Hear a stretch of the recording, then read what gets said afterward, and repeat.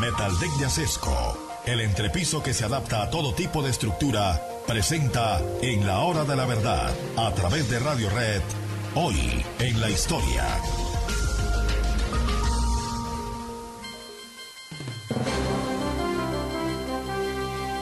Estamos recordando episodios de la historia de Colombia que la gente ignora y por eso tranquilamente se dice que Gustavo Petro es el primer izquierdista y el primer guerrillero que llega a la presidencia de la República. Definitivamente hay un desconocimiento total de lo que ha sido la historia revolucionaria del país, con presencia de las izquierdas, como lo veíamos ayer con José María Obando, el hombre que, nacido de una mujer muy ilustre, de la casa de los Mosquera, y de un padre que se desconoce y se desconocerá ya para siempre, eh, fue un revolucionario y un revolucionario que llegó al Palacio de los Presidentes en contravía de lo que dicen los promotores de que Gustavo Petro es el primer izquierdista y el primer revolucionario presidente de Colombia. Pues hoy tenemos que hablar de un primo de Obando, de un personaje capital en la historia del siglo XIX en Colombia probablemente el hombre que más influencia tuvo en los destinos de la nación, Tomás Cipriano de Mosquera.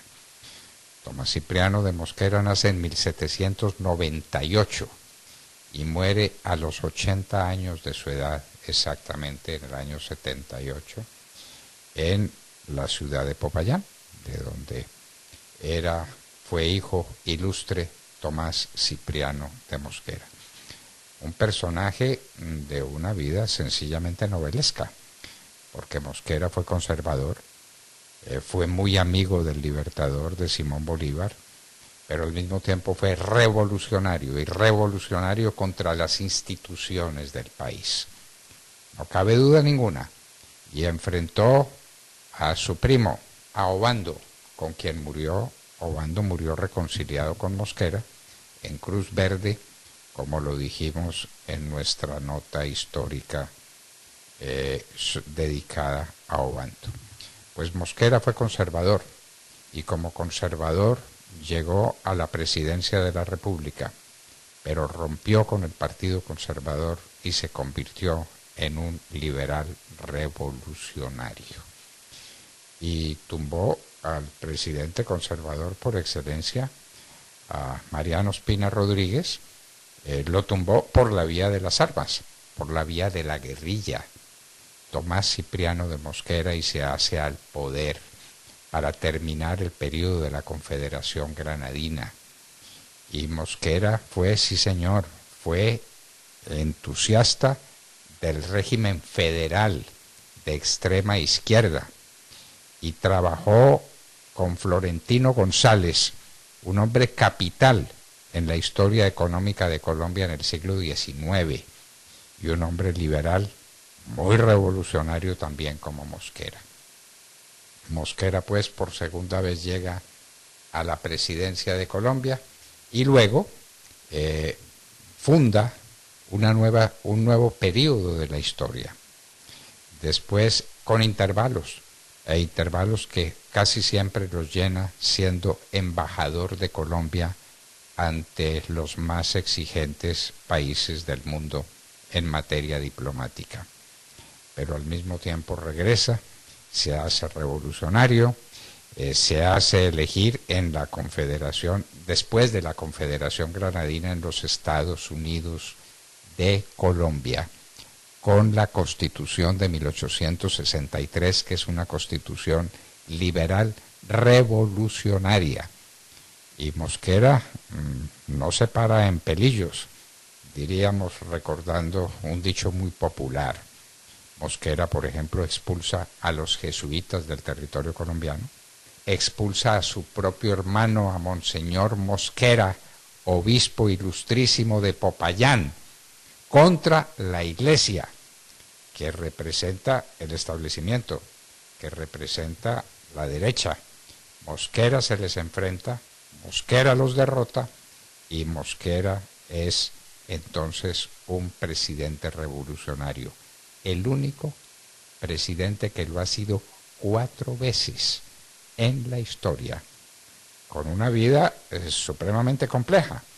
Es derrotado militarmente y es puesto prisionero y se lo lleva prisionero a lo que hoy es el Observatorio Astronómico de Bogotá.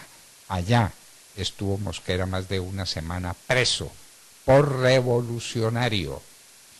Eh, y esa es parte de una historia que la gente desconoce. Entonces, Mosquera, cuatro veces presidente, se fundan los Estados Unidos de Colombia, que son una organización federal que es pura izquierda y se funda en contra de los derechos de la Iglesia. Mosquera no solamente expulsa a los jesuitas y expulsa a su hermano, sino que dicta una norma, una ley. Algunos dicen que con la participación de Rafael Núñez, otros lo niegan vehementemente, la desamortización de bienes de manos muertas. Decían mis maestros, los jesuitas, que más bien era la desamortización de muertos de eh, uñas vivas, la desamortización de bienes de uñas vivas, quitándole los bienes a la Iglesia Católica. El señor Tomás Cipriano de Mosquera, revolucionario por excelencia, guerrillero de los más famosos.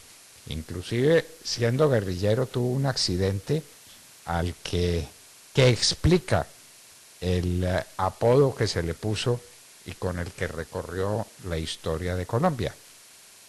En Barbacoas fue herido en la cara por un balazo, difícilmente se recuperó, eh, buscó todos los médicos, lo asistieron todos los médicos, estuvo atendido médicamente en los Estados Unidos también, y por el ruido que hacía o el sonido que hacía cuando hablaba en medio de su situación dramática, con los daños que le causó el balazo, eh, lo llamaron por eso mascachochas, porque el sonido que emitía se parecía a las chochas, y ese sonido le valió el título de, o el sobrenombre, el apodo de Mascachochas a Tomás Cipriano de Mosquera.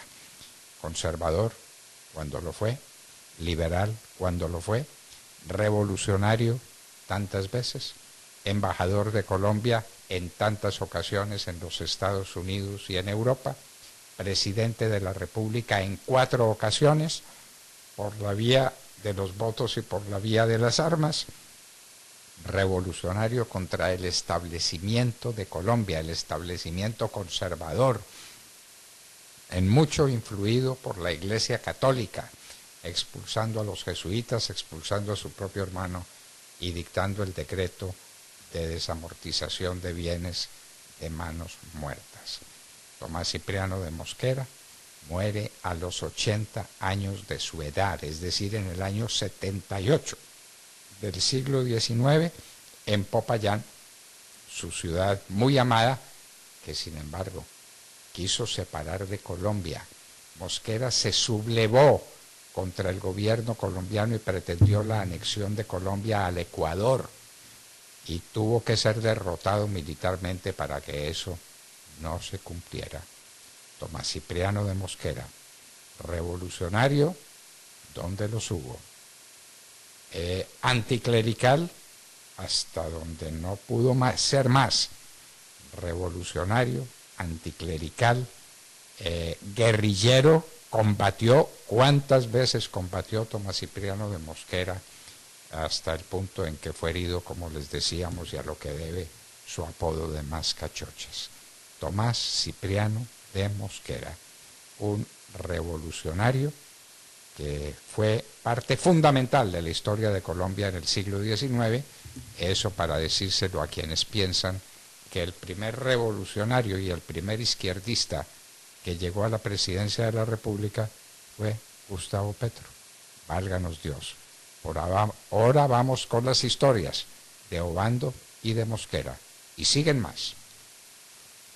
Hoy en la historia, en la hora de la verdad, no era mañana o minuto. la familia Ramírez duerme tranquila porque su techo está bien hecho. Bien hecho como las cubiertas Acesco. Por su doble capa protectora, son ultra resistentes a la corrosión y al paso del tiempo. Para que tu techo quede bien hecho, exige calidad Acesco.